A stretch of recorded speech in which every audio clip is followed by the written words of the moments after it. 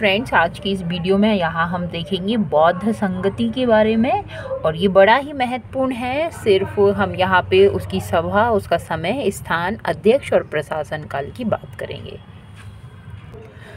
तो सबसे पहले यहाँ देखेंगे प्रथम बौद्ध संगति जो होती है, प्रथम बौद्ध संगति चार सौ तिरासी ईसा पूर्व में होती है, इसे याद रखेंगे। चार सौ तिरासी ईसा पूर्व में ये होती है और कहाँ होती है? राजगृह में होती है। कहाँ होती है? राजगृह में होती है और किसके शासनकाल में होती है? तो अजात शत्रु के शासनकाल में होती है। राजगृह अजात शत्रु का शासनकाल। तो यहाँ देखो, यहाँ एक राजा है, स्थान में राजा आ रहा है और शासनकाल में शत्रु आ रहा है ना? राजगृह और अजात शत्रु। तो राजा और शत्रु ऐसा करके कुछ आप देखिए, याद करेंगे तो करने का मतलब हो सकता है। तो राजगृह और अजात शत्रु। और इसके अध्यक्ष कौन रहे? तो महाकश्यप इसके अध्यक्ष रहे। इसके अध्यक्ष महाकश्यप रहे, है ना? तो राजा राजगृह और अजाशत्रु, शत्रु, ऐसे राजा और शत्रु और महाकश्यप, ऐसे। तो प्रथम बौद्ध संगति चार सौ तिरासी, प्रथम बौद्ध संगति चार सौ तिरासी ईसा पूर्व। इसके जो शासनकाल था वो अजाशत्रु का था, स्थान जो था वो राजग्रह था और इसके प्रथम अध्यक्ष महाकश्यप थे। द्वितीय बौद्ध संगति की बात करें तो चार सौ तिरासी ईसा पूर्व में द्वितीय बौद्ध संगति होती है तो मतलब इसके सौ साल बाद दूसरी होती है और ये कहाँ होती है? वैशाली में होती है। ये कहाँ होती है? वैशाली में होती है और किसके समय में होती है? काला शोक के समय में। वैशाली में होती है और काला शोक के समय में होती है। वैशाली और काला शोक, वैशाली और काला शोक, है ना?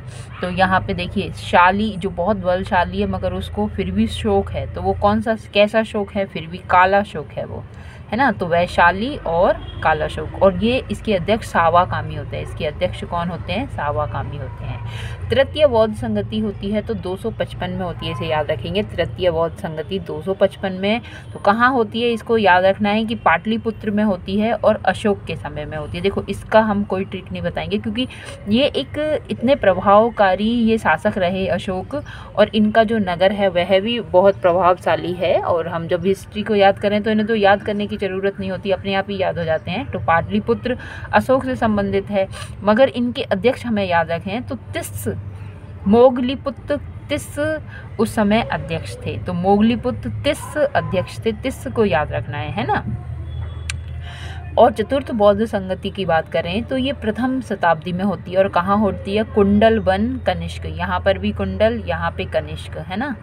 कुंडल वन कनिष्क और इसके अध्यक्ष उस समय कहाँ होते हैं? कुंडल वन कश्मीर में है, अध्यक्ष इसके वसुमित्र होते हैं और उपाध्यक्ष अश्व घोष अध्यक्ष वशुमित्र और उपाध्यक्ष अश्व घोष चारों संगतियों को हमने देखा। अब बौद्ध धर्म की जो ये चार संगत संगतियाँ थीं संगतियाँ थीं, इनके उद्देश्य क्या थे ये हम देखेंगे। तो प्रथम जो बौद्ध संगति हुई है, प्रथम बौद्ध संगति हुई हुई है अजातशत्रु के टाइम में, इसका उद्देश्य क्या था? बुद्ध के उपदेशों को दो पिटकों, विनय एवं सूट सूट पिटक में संकलित करना था, है ना, किया। तो इसका पहला तो क्या किया इन्होंने?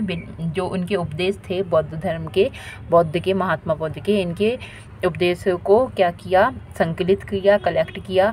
और द्वितीय संगति में क्या हुआ? तो अनुशासन को लेकर मतभेद के कारण बौद्ध धर्म स्थविर और महासंधिक में बट गया। द्वितीय में क्या हो गया? बांटने का काम हो गया। तो स्थविर और महासंदिक में ये बट गया। जो तृतीय बौद्ध संगति थी तो तीसरा पिटक अभिधम्ब जोड़ा गया। तृतीय में तीसरा पिटक अभिधम्ब जोड़ा गया। और तृतीय में कौन थे? पाटलिपुत्र और अशोक।